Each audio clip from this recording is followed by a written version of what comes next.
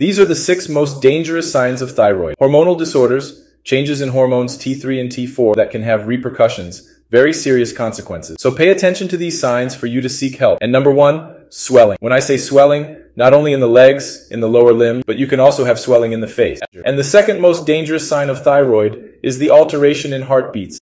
In the frequency that the heart beats. What is the normal? From 60 to 100. Pay attention. Chronic diarrhea. And here I'm not saying you get an infection and then you have that period of diarrhea, three, four days, and then you recover. Here I'm talking about chronic diarrhea. You're always with diarrhea. Number four, pressure changes. Thyroid hormones participate in the relaxation of blood vessels both from hyperthyroidism and from hypothyroidism. The fifth danger sign, memory alteration. But why is this a danger sign? Hypothyroidism is a reversible cause of dementia. That is, if you discover a thyroid alteration at the beginning that it is just starting to cause, you can even avoid a more serious condition. Sixth warning sign, difficulty eating or breathing. Sometimes the thyroid can grow so much, increase so much volume,